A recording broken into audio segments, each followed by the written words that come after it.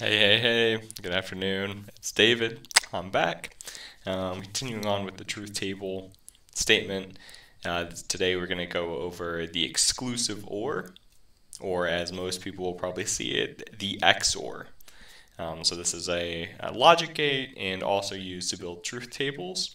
And what this means in English is um, if one but not both.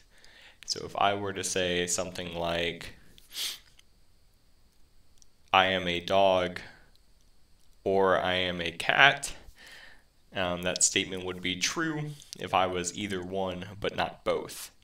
It would also be false if I was not um, one of those. Um, so let's see this in action.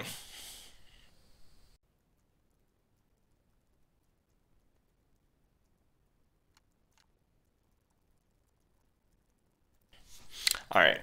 Um, so using the earlier example, if we go with what we talked about, is um, both P and Q cannot be the same.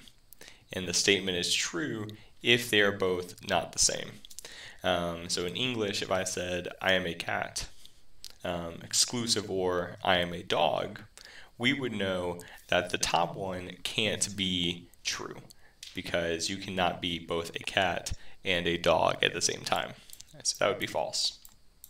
And then if I said I'm a cat, exclusive or a dog, I can be a cat. Um, so that one would be true. True. And then if I am neither a cat nor a dog, I would not fit into the exclusive or. So that would also be false. Um, and that's it. That's the exclusive or.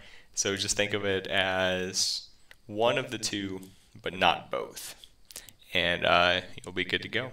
All right. Thank you.